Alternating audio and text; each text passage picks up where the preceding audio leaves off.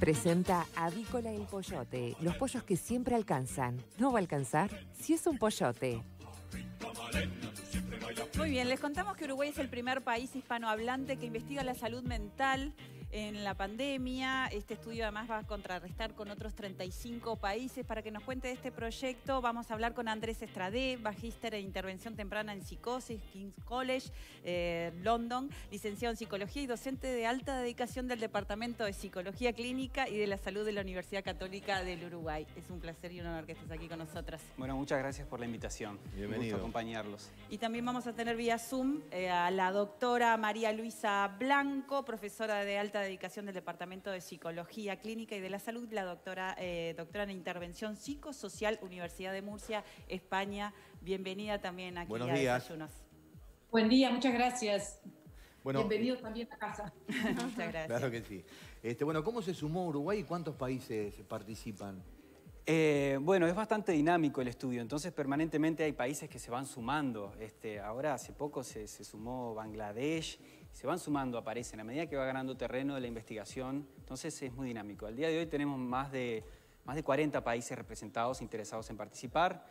Eh, más de 10 ya han lanzado a recolectar los datos. Uruguay se suma por invitación de investigadores en Inglaterra y en Italia que nos nos, y nos invitan a participar. Nosotros viendo la oportunidad de, de formar parte de un equipo global y una investigación global, que es una oportunidad que nos surge todos los días, enseguida dijimos sí. Claro. Este, estamos 100% en esto a disposición y nos movimos rap- con rapidez y eficiencia y pudimos ser el primer país hispanohablante ¿Y en, ¿En qué, en comenzar qué la consta recolección. este proyecto global? Es un estudio global que se realiza a través de una encuesta online y el objetivo es evaluar el impacto de la pandemia y las medidas de distanciamiento social sobre eh, la salud mental y el bienestar de la población general, adultos, adolescentes y niños. Este, este colectivo eh, viene realizando esta investigación ahora durante la pandemia, pero se va a extender un tiempo más, ¿no verdad? Así es, son tres tomas de datos independientes, ahora durante la pandemia y una vez que finalice la pandemia se van a tomar seis meses después y 12 meses después. Eh, luego iremos viendo, ¿no? Un poco hay que ir tocando la música y la orquesta toca y todos bailan y son muchos países bailando al unísono, entonces hay que coordinar entre varios países, pero es el objetivo tomar tres medidas para ver cómo evoluciona, ¿no? ¿Y la forma de tomar estas medidas y de elegir, de elegir a las personas es igual en todos los países o varía? Está bien, es una buena pregunta. Es igual, es la misma encuesta, es el mismo estudio, pero siempre hay algunas leves diferencias regionales, ¿no? Algunos países sacaron algunas preguntas, se añadieron algunas preguntas propias, pero en gran medida el modelo es el mismo. Entonces eso nos va a permitir comparar qué pasa con Uruguay con lo que pasa en Irán, en Italia, en Canadá, porque todos más o menos usamos la misma, la el mismo instrumento, el mismo parámetro. Claro. María, la, la psicología hoy por hoy, ¿no? ¿Ha cambiado con respecto a esta pandemia? Sí, bueno, está cambiando con el mismo sentido que estamos cambiando todo nuestro quehacer. La parte científica está cambiando muchísimo, en especial la parte de las comunicaciones científicas, que siempre es algo que demora tiempo, lleva tiempo porque se escriben esos artículos, se publican de repente un año después, hay que hacer muchos controles internos y eso, y ahora las comunicaciones tienen que ser mucho más rápidas para podernos enterar más de lo que está pasando.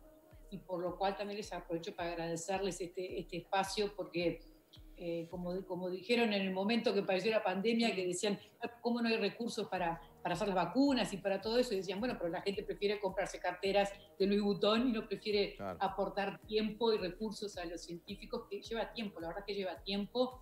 Por Y eso, recursos, este, claro. recursos, sí, así que les agradezco muchísimo este- este- esta oportunidad, porque también recursos y también la voluntad de la gente, ¿no? Porque Claro. la gente tiene que voluntariamente hacer la encuesta y decir esto, bueno, ¿para qué sirve ahora? Como decía Andrés, después se, se toma otra medida. Y bueno, esperemos que no pase, pero todo está medio previsto de que va a haber otras pandemias después. Entonces también hoy podríamos haber tenido más respuestas si anteriormente hubiéramos hecho más de estos estudios. También es verdad que ahora lo podemos hacer gracias a estas conexiones, ¿no? Que tienen limitaciones, pero que también dan estas posibilidades. Entonces, bueno, viene global el coronavirus y nosotros también vamos global a él, ¿no? Vamos, Claro. vamos respondiendo de esa forma. María Luisa, ¿cómo, cómo ha cambiado la psicología, en Perdón. especial, perdón, Sí, no, no, no, no, te escuchamos, te escuchamos, no te queremos cortar. No, digo que las cosas que han cambiado más, más rápidamente en este momento es toda la parte de estudio de las emociones, este, son fenómenos de corta duración y de intensidad, que están previstos en el humano para poder dar respuesta y para poder informarnos mejor a nuestro psiquismo del mundo que nos rodea y así mejorar nuestra adaptación. Ahora, no está previsto esta situación como tenemos ahora que dure tanto tiempo. Entonces, que por ejemplo el miedo, que la, el, el- el encierro, que todo dure tanto tiempo. Sí, que dure tanto tiempo y, y lo hemos manejado también en otras notas, que no sabemos cuándo termina. O sea, no hay una fecha de decir, bueno, mirá que es hasta tal día, Claro. mirá que termina en, en una hora. no es así. claro. Exactamente, exactamente. Eso da, todavía eso agrega el factor de incertidumbre. Claro. que también que uno dice, bueno, me preparo para esto y sé que aguanto y sé que para tengo los recursos para este tiempo. Sin duda que no saber cuándo termina, o por lo menos que las aproximaciones en el tiempo sean tan variadas, eso influye. Pero sobre todo el tema este de estar sometidos a esta situación intensa durante mucho tiempo. Claro. Eso es lo que a los humanos, a la psicología, pero mismo al organismo, a la sociedad, ni hablar a la economía, eso es lo que es lo más complejo de tramitar y lo más complejo de, de poder brindar soluciones. ¿no? ¿Cuáles serían Porque- algunas de las estrategias para, para disminuir esos, esos posibles efectos este, psicológicos, no? Sí, bueno, por suerte hay muchas, eso es una gran cosa. La primera es el tema de, eh, justamente por, por lo exacto que lo que decían, del tema de, la- de lo, de lo imprevisible del asunto. Sí hay una cosa que es previsible, como si fuera del puzzle, el, el borde, ¿viste? Cuando buscas los bordes para poder armarlo, el borde del lado de acá es el futuro y lo que sí es importante saber es que de esto vamos a salir. Eso es muy importante de empezar a tener eso Claro. claro. Cualquier cosa que uno se plantea tiene que partir de que esto vamos a salir. Por más que en el momento no sepa o la intensidad esté, pero tenemos que tener claro que eso va a pasar y vamos a salir. Hemos salido de otras peores y vamos a salir de esto. Eso es un primer punto. Otro segundo punto muy importante es que el miedo, como otras emociones, eh, presentan una sensación muy desagradable de pérdida de control. Y más cuando es algo tan global, ¿no? Que no Claro. es que yo, lo mío, es todo, y además el mundo. Entonces, eh, otra estrategia importante es no desesperar por las cosas que no podemos controlar, pero sí focalizar en las cosas que sí podemos hacer. Bueno, lo están haciendo ustedes, digo, tienen, han tenido que cambiar una cantidad de cosas para seguir haciendo lo, que- lo que hacen. Claro. Y bueno, eso, focalizarse en eso, en las cosas que sí uno puede controlar. O sea, verla- verlo de forma positiva, tratar de no entrar en esa negatividad. Sí, capaz que positivo, pero, pero te diría eh, más bien realista, ¿viste? Porque yo no sé si puedo contra el coronavirus, no sé, yo no voy a encontrar la vacuna, pero sí puedo mantener el distanciamiento social, Claro. sí puedo lavarme las manos. Sí, es un, sí poco la vacuna es eso, ¿no? En este momento es eso. Exactamente, exactamente. Y bueno, entonces ahí digo, bueno, yo, ah, me encantaría ver a mi madre, me encantaría esto, pero tengo que, eso tengo que pensarlo y tengo que articularlo para decir, bueno, pero yo tengo control de esta situación. Sí, ahora, pero ¿qué es lo ¿cuánto que- afecta, no? ¿Cuánto afecta realmente en la psique de una Afecta persona mucho. que de repente Ah. no estaba ya capaz bien parada, ¿no? O, o que tiene ciertas debilidades. Eso, el no poder ver a su familia, el tener incertidumbre en su trabajo, el que los niños no vayan al colegio, no, pues son un montón de factores juntos que se potencian además, no es que es uno. Sí, exactamente así, es exactamente así. Eh, a ver, esto nos agarra, suponete que si fuera un terremoto, ponele desde el punto de vista psíquico, ¿no?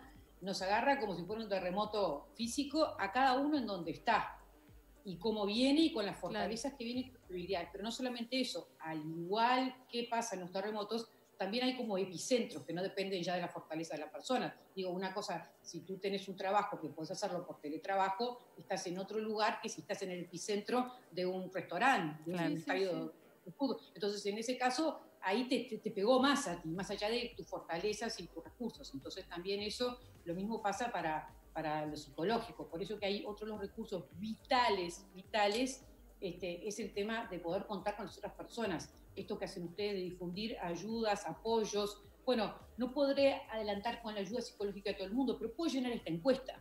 Puedo colaborar con mi país con eso, con otros países, puedo aportarles a esta gente que están pensando esto. Entonces, hay cosas que sí podemos hacer todos y sobre todo el hablar con otras personas. Este, Eso es muy importante, poder compartir las cosas. No en el sentido de desesperación y de dar vueltas alrededor de lo mismo como una noria, que eso psicológicamente es malo, pero sí de poder intercambiar ideas que permitan dar un significado nuevo a las cosas y avanzar. Como Ujú. por ejemplo eso, ¿no? Bueno, yo comparto estas emociones, ustedes ahora mostraron una, una una escena muy emotiva este, con las personas mayores. Bueno, se comparte eso, uno dice cómo me hizo sentir, eso me gustó. Bueno, a ver, ¿qué otra cosa puedo hacer por otra persona mayor? Que puedo hablar por teléfono, puedo mandar un mensaje. Hay muchas cosas que uno puede hacer cuando uno está pensando, no por decir, ah, qué lindo, qué bárbaro que es todo esto, sino por decir, no voy a entrar en ese punto viste, que, no, es real, más allá de que sea desagradable, no es real. Claro. Andrés, como dijo María Luisa, ¿cómo podemos colaborar en esta encuesta? Bien, eh, la encuesta es importante cuando se hacen estas investigaciones en salud mental aclarar eh, ciertas cuestiones formales que se tiene que cumplir, ¿no? La encuesta fue, el estudio está, tiene aval del Comité de Ética en Investigación de la Universidad Católica.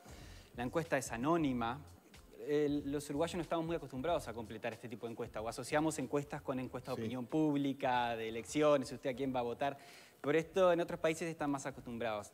Entonces está bueno aclarar algunas cuestiones que para nosotros investigadores lo damos por sentados, pero para la gente no pueden ser necesariamente tan claras. La encuesta es anónima, eso quiere decir que las respuestas que la persona dé, eh, nosotros no vamos a poder linkearlas o asociarlas con un individuo particular. Entonces eso se garantiza el anonimato y eh, tiene aprobación del Comité de Ética. Entonces, el que esté interesado en participar ingresa a la página web del estudio y ahí puede seleccionar, eh, hay como 20 idiomas ya montados en la encuesta, bueno, mejor si... Bueno, capaz que si uno lo quiere hacer en otro idioma lo puede hacer, ¿no? Pero está la, en, español ya está disponible, ingresa, selecciona español y completa la encuesta. Eh, si quiere participar un menor, un adolescente, un niño, bueno, es importante que primero el adulto tiene que consentir, dar el consentimiento. Yo permito que el adolescente, que es menor de 18 años, participe y luego el adolescente también tiene que consentir. Yo también quiero, participar. ¿no? Ambos tienen que, eh, consentir que quieren ser parte. Esto está todo eh, especificado en la página. Está especificado, está especificado en la primera página que es el consentimiento informado. Perfecto. Eh, que quiera más información y también nos puede contactar por mail. ¿Hay, un número mínimo de personas que necesitan que participe? Cuanto más es, por supuesto, mejor para mí. Claro, cuanto más mejor porque nos permite luego ir haciendo análisis más por subgrupo, ¿no? Si tenemos personas en Montevideo, también, pero también queremos personas en el interior. Claro. Porque va a ser diferente. Entonces, si tenemos gente en Montevideo en el interior, podemos luego analizar las intervenciones en salud mental tienen que ser especificadas a cada grupo en particular, no podemos ir con soluciones generales que aplican a todo el mundo. Entonces, cuanto más podamos subdividir y llegar a más gente, mucho mejor. Andrés, ¿se puede hablar de que pueda haber o, acentuar algunas secuelas en aquellas personas que estamos padeciendo la, pandemia, que puedan quedar o, tox o, un montón de cosas que de repente uno las, las trabaja ahora y, y pueden potenciarse pasando la pandemia? ¿Ya se manejan? Eh, en el sentido de intervenciones o en el sentido de impactos sobre la salud mental que puedan ser duraderos. Sí. eso sin duda. Por eso es importante, y acá cuando se habla de salud mental creo que es algo que es importante tener en cuenta. ¿Por qué es importante la salud mental? A veces pensamos que la salud mental impacta solamente al, individuo afectado por...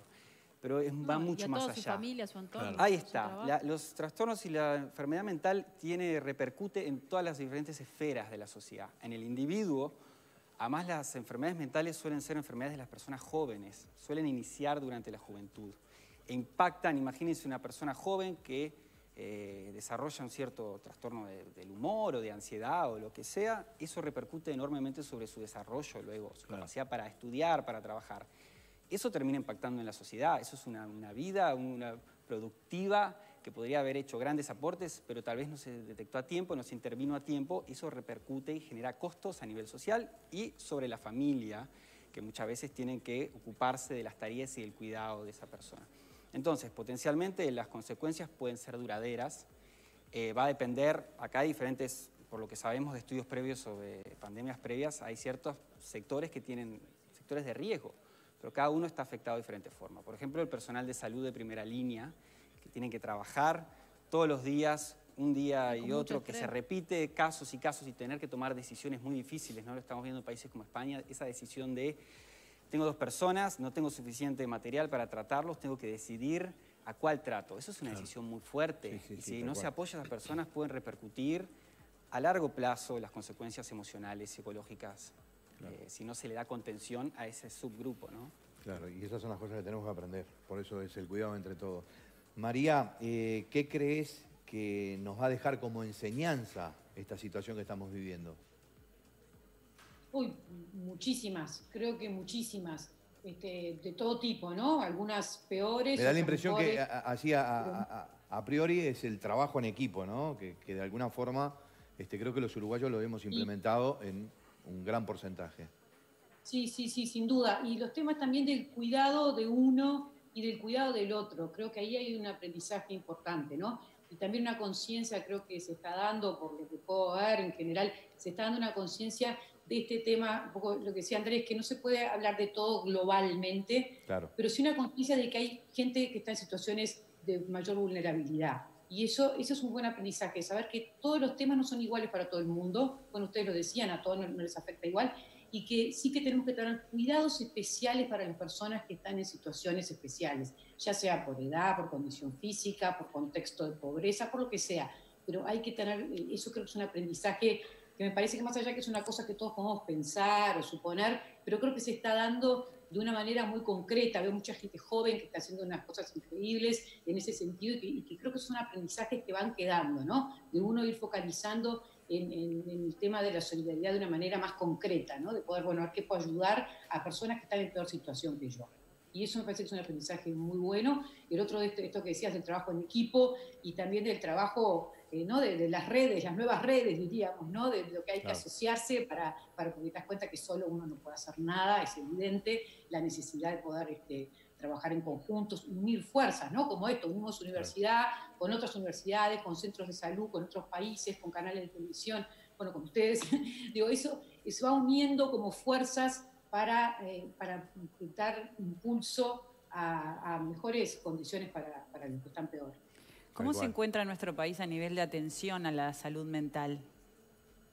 No muy bien, de hecho bastante mal.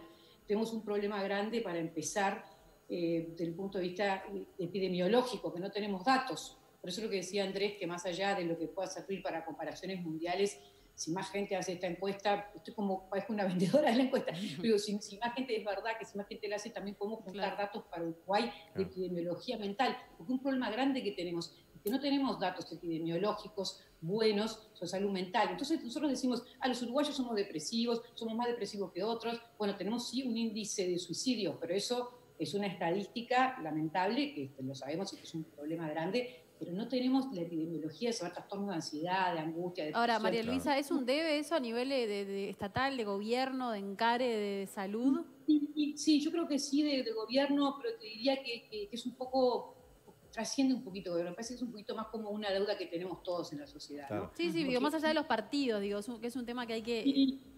y más allá de lo que cada uno hace, porque es un poco un tema de conciencia, ¿no? Tenemos la situación del Villarreó que todos conocemos, digo, antes que estaba el muto, digo, hay como una, un- como que un poquito de, de más conciencia, ¿no? Porque, porque el tema epidemiológico que decía es, es una cosa básica, porque si no todos los psicólogos estamos haciendo todo lo que podemos en las consultas y mucha gente haciendo proezas, por no hay otra palabra para decir, pero sin los datos epidemiológicos, cada uno va, eh, se va focalizando y se va, va aprendiendo y va enseñando y va trabajando en lo que más o menos le parece que es. Y de repente, si no tenés el dato epidemiológico bueno, estás también malgastando los recursos que ya tenés. Claro. No sé si se entiende. Sí, sí, tal cual. Ahora, esto, esto es otra, otra de esas este, alarmas que se encienden, ¿no? Que esta pandemia, de alguna forma, por buscarle el lado positivo, seguro. ¡Ey! Prendamos esta luz, ¿eh? Que estaba, que no sabíamos. Exacto. O, o- o que siempre la dejamos este, eh, Es que al son costado. temas que no nos gustan No nos tratar, ¿no? gustan. Es Claro. como que miramos, es como la, Sí. bueno, como la situación de los adultos mayores, como son temas que abajo de la alfombra. Claro. Claro. Exactamente. Y ahí también pasa como pasa con eso, que de verdad en Uruguay tenemos una cosa eh, muy buena, que creo que también está bueno, porque en le- lo que más sirve para, para afrontar cualquier situación de crisis es localizar rápidamente las fortalezas. Y creo que ahí en Uruguay tenemos una fortaleza muy grande Ujú. y es que hay como un espíritu grande de bomberos internamente, ¿no? Digo, si hay un problema, ahí todos nos despabilamos y todos hacemos todo, todo bien, todo sale impecablemente bien. Y creo que eso hay que aprovechar de este momento para justamente poder ver estas nuevas formas y poder ver estas posibilidades. Y en ese sentido, los psicólogos en Uruguay, hay alrededor de 7.000 psicólogos en Uruguay, eh, es impresionante el movimiento, lo que, todo lo que están haciendo, todo lo que están ayudando, los trabajos de voluntarios. O sea que ahí también hay una cosa importante, ya que es televisión, para decir que, eh, el que el que se sienta en una situación de soledad o de angustia o de algo, que llame, que averigüe. Hay muchísima gente trabajando en muchos lados, en la Universidad Católica también puede entrar en la página, y en el canal ustedes tienen una cantidad de avisos de ayuda. Hay ACE, Universidad de la República, hay pero muchísima gente, asociaciones científicas, eh, por supuesto los mutualistas, hay muchísimos lugares. El que, es importante de poder transmitir que el que tenga algún indicador, que le parezca que, se siente como muy aislado, como muy solo, más allá de, la cuarentena, que se siente que está como mal, como que no, que, se anime, que llame, que averigüe, que pregunte, porque eso, la verdad que el trabajo en ese sentido de la gente de salud mental, psicólogos, psiquiatras, asistentes sociales, mucha gente, acompañantes terapéuticos, están haciendo realmente un trabajo eh, monumental. Eso, eso, eso hay que ver, ¿no? Porque la situación psicológica, como ustedes bien señalaron al principio, explotó, ¿no? Porque todo lo sanitario, pero explotó lo psicológico también. Sí, sí, los primeros días, este, como se decía, los primeros días parecía que estábamos de vacaciones, ¿no? Y después ya se tornó en, hey, ¿qué estamos haciendo? ¿Hacia dónde vamos? ¿Qué hago? Tal, cual. cual, tal cual, tal cual. André, vos recién hablabas del tema también de, la adolescencia. Me acuerdo que el año pasado, ¿te acordás cuando el Día de los, de los Derechos del Niño, de los, adolescentes, que vinieron con una proclama o pedidos de los derechos, de, eran dos adolescentes, y uno de, los pedidos fue el tema de la salud mental, que nos llamó la atención, además un pedido de ellos mismos. Sí, cuando, cuando uno analiza lo que se llama la carga de la enfermedad a lo largo de los diferentes grupos etarios, es decir, eh, en las diferentes edades, bueno, las personas de mayor edad, las personas jóvenes, hay ciertos tipos de enfermedades que son las que generan más carga, más, más costos en pérdidas de días productivos, es una forma de medirlo, ¿no? es decir, días que la persona no puede ir a trabajar, no puede estudiar.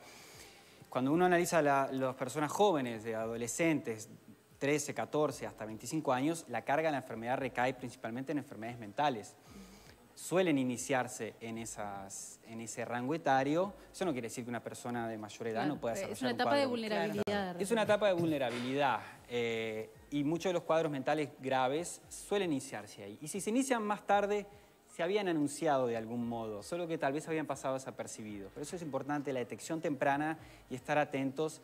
Eh, recordar que, que las enfermedades mentales inician ese rango y bueno, y, eso es en parte también lo terrible de la situación, ¿no? Porque impactan justo cuando la persona está desarrollando su, se está formando, está su proyecto de vida, su personalidad aún no está del todo conformada, ¿no? y los padres tenemos un rol fundamental, bueno, padres o quienes tengan cerca, ¿no? los padres, también los, eh, este, los servicios, los educadores, las instituciones educativas. Este, es importante cuando uno sospecha que algo puede estar mal, como decía María Luisa, eh, pedir ayuda lo antes posible. Cuanto antes, eh, si el partido ya está por terminar y estamos perdiendo 5 a 0, eh, el partido se está en gran medida perdido, es más difícil revertirlo, ¿no? Entonces, cuanto antes uno consulte y pida ayuda, siempre es mucho mejor. También algo que me, interesa mencionar en relación a lo que decía María Luisa, el trabajo colaborativo de todos los profesionales de salud mental en Uruguay, también el trabajo colaborativo de todos los investigadores. Nosotros estamos aquí en representación y en la Universidad Católica, pero hay mucha gente en la Universidad Católica, en la Universidad de la República, también investigadores independientes, todos estamos colaborando y todos de a poquito aportamos las piezas para ir armando el puzzle de la salud mental en Uruguay. Entonces es importante colaborar con todas las investigaciones que, por suerte cada vez son más frecuentes este tipo de investigaciones en Uruguay, que hace unos años era como algo que uno decía, esto pasa en otros países, no pasa en Uruguay. ¿no? Eh, hay buenos investigadores, se hace buena investigación, y es también una ventana al mundo, ¿no? Porque uno investiga y entonces aparece Uruguay dentro, en la pelotera con varios otros países. Y Nosotros aprendemos de otros, pero también aprenden de cosas que pasan acá. Claro, y, dicen, bueno, miren, la gente de Uruguay investiga bien, eh, hay un proyecto nuevo, vamos a buscarlos. Así es como se maneja la investigación en salud mental hoy en día. Son equipos multisitio de todo el mundo. Y acá no importa tanto dónde vivís porque todos estamos a un clic de distancia. Como decías con respecto al fútbol, hay 11 jugadores, uno puede hacer el gol, no se sabe cuál. Claro, y está bueno que uno sea uruguayo. Justo el que mete el gol es el uruguayo, lo van a ir a buscar. bueno, muchísimas gracias, Andrés. repetimos la, a María Luisa. Sí, repetimos dónde, cómo puede hacer la gente La página es, eh, la, la de letreo es COH-FIT, COFIT, es el nombre de las siglas del estudio en inglés. Ustedes lo pueden buscar en Google, pueden entrar a la página. Ahí está, mirá, ahí está. Ahí la página de, la Católica también está. ingresan ahí, seleccionan el idioma y participan. Buenísimo. Andrés, María Luisa, muchísimas gracias por acompañarnos. Bueno, gracias por la invitación. ¿Hacemos la Gracias, pausa? Ya venimos. Sí, sí.